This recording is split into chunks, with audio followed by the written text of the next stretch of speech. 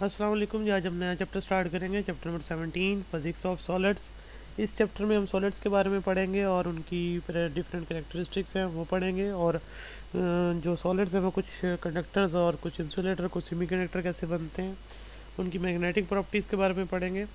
तो स्टार्ट करते हैं। सबसे पहले क्लासिफिकेशन है सॉलिड्स की। तो सॉलिड को तीन कैटेगराइज में डिवाइड किया जाता है। सबसे पहले तो देखें क्रिस्टलाइन सॉलिड तो क्रिस्टलाइन सॉलिड इसकी पहली टाइप हम डिस्कस करेंगे, लेकिन उससे पहले सॉलिड क्या होता है? The substance which has definite shape and volume is called solid यानी कि ऐसा सब्टांस जिसका कोई डेफिनेट वॉल्यूम हो शेप हो फोर्स लगाने से वो चेंज ना हो, उसे हम सॉलिड का नाम देते हैं। तो क्रिस्टल किसे कहते हैं? The substance in which atom molecules और ions are arranged in definite pattern is called crystal यानी कि क्रिस्टल वो सब्टांस है जिसमें एटम मालिक्यूल्स और आइंस जो हैं वो रेगुलर अरेंजमेंट के साथ हों डेफिनेट एक पैटर्न हो जो रिपीट हो उसके अंदर तो उसे हम क्रिस्टल का नाम देते हैं। तो क्रिस्टल क्रिस्टलाइन सॉलिड क्या हुआ है ऐसे सॉलिड जिसके अंदर एटम मालिक्यूल्स आइंस जो है वो रेगुलर पैटर्न के अंदर जो है वो अरेंज हों। तो the solid in which atoms molecules और ions are arrange in regular pattern throughout the substance is called crystalline solid तो इसमें क्या होता है कि जो जो भी मालिक्यूल होगा, उसके नेबर जो एटम्स होंगे नेबर जो मालिक्यूल्स होंगे, वो इक्वली डिस्टेंस के ऊपर होंगे। और ये pattern throughout the crystal same रहेगा कांस्टेंट रहेगा। और इसमें एग्जांपल्स हैं, जैसे मेटल में कॉपर्स जिंक और आयनिक कंपाउंड में सोडियम क्लोराइड है, और in case of ceramic zirconia है ये सारे क्रिस्टलाइन सॉलिड्स हैं। अब क्रिस्टलाइन सॉलिड जो होते हैं, उनको आप एक्सरे से स्टडी कर सकते हैं, उनके एटम्स के दरमियान जो गैप है वो इंटरप्लेनर स्पेसिंग जिसे आप बोलते हैं, वो हम फाइंड कर सकते हैं। जैसा कि फ़र्स्ट ईयर में आपने चैप्टर नंबर नाइन में ब्रैग क्वेश्चन पढ़ी थी एक्सरेज डायफ्रैक्शन जो है, उसकी वजह से ड्राइव की थी तो ये उसके बारे में बता रहा है। एटम मालिक्यूल जो और आइन जो है क्रिस्टल लाइन सॉलिड के अंदर, वो स्टैटिक नहीं होते वाइब्रेट करते हैं अबाउट देयर मीन पोजिशन और ये जो certain amount of certain amount का जो एम्पलीट्यूड होता है, वो इंक्रीज़ होता है with the rise of temperature temperature बढ़ेगा वाइब्रेशनल एम्पलीट्यूड बढ़ जाएगा एटम मालिक्यूल्स का और हर तो क्रिस्टल जो है वो एक पर्टिकुलर टेम्परेचर के ऊपर जाके उसकी जो वाइब्रेशन जो है वो बहुत ज़्यादा बढ़ जाती है और सडनली जो है वो स्ट्रक्चर जो है ब्रेकअप हो जाता है और सॉलिड मेल्ट करना स्टार्ट कर देता है। तो ट्रांजिशन जो होती है उसकी सॉलिड टू लिक्विड वो वो जो है ना सडनली होती है अरप्टली होती है मतलब फ़ौरन होती है। ये नहीं कि कॉन्टीन्यूस वे में होगी। तो अगर फ़र्ज़ कर मैं आपको एग्जांपल दूँ, जैसे आयरन है उसका मेल्टिंग पॉइंट 750 सेंटीग्रेड है तो 750 सेंटीग्रेड पे ही वो मेल्ट होना स्टार्ट होगा, उससे पहले 740 या 745 पे भी नहीं होगा।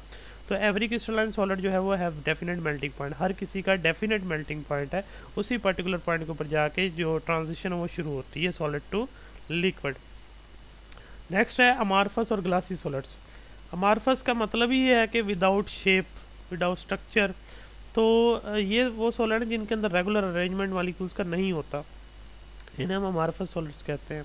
और इस मार्फस का मतलब भी यही आउट ऑफ़ फॉर्म या स्ट्रक्चर जैसा कि एक ऑर्डनरी गिलास इसका कोई रेगुलर अरेंजमेंट नहीं होता मालिक्यूल्स का, और डेफिनेट मेल्टिंग पॉइंट भी नहीं होता। आप इसको हीटअप करना शुरू करते हैं, ये पेस्ट लाइक मटेरियल बनना शुरू हो जाता है सॉफ्ट पेस्ट लाइक मटेरियल तो 800 सेंटीग्रेड पे जाके वो जो है वो पेस्ट बिल्कुल कंप्लीट हो जाता है वो।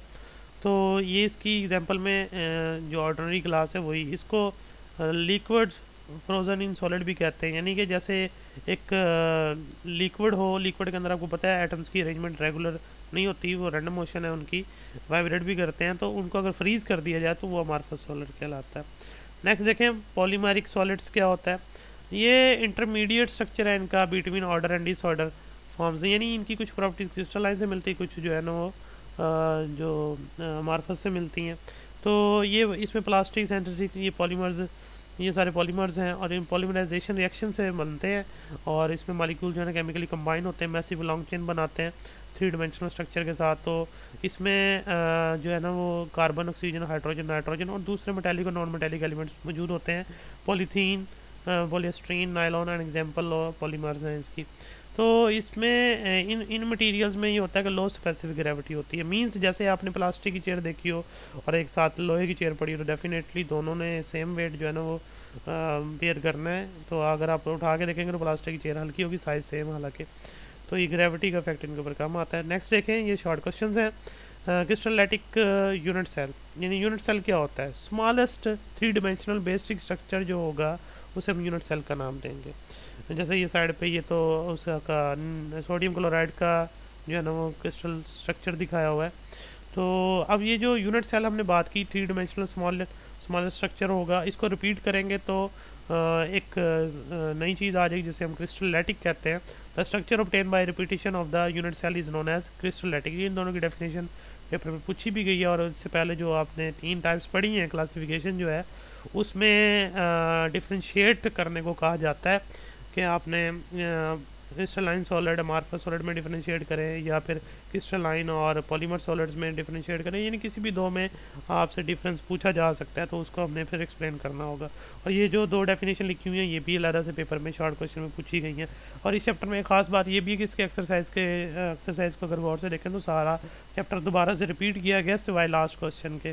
एक्सरसाइज में सिर्फ़ एक लास्ट क्वेश्चन ही ऐसा है, जो नई चीज़ है वहाँ पर, बाकी सारी यही चीज़ें दोबारा से रिपीट होंगी इसलिए इसके जो शॉर्ट क्वेश्चन हैं, वो थ्योरी से ज़्यादा बनते हैं, और यानी कि वो साथ साथ मैं आपको बताता भी नहीं हूँ, जैसे ये आपको बता रहा हूँ तो ये भी शार्ट क्वेश्चन के तौर पर तैयार करना है आपने।